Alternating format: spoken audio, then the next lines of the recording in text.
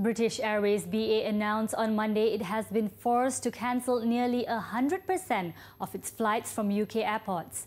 This after British Airlines Pilots Association, BALPA called for a strike amid heated dispute over pay with the airline.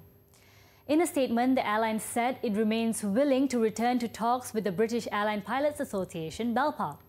Earlier on Sunday, BALPA tweeted that it made a proposal to BA on Wednesday but had yet to receive a reply. Pilots are to continue their strike on Tuesday and are threatening to strike for one more day on September 27th and then possibly again closer to the winter holidays should the dispute rage on.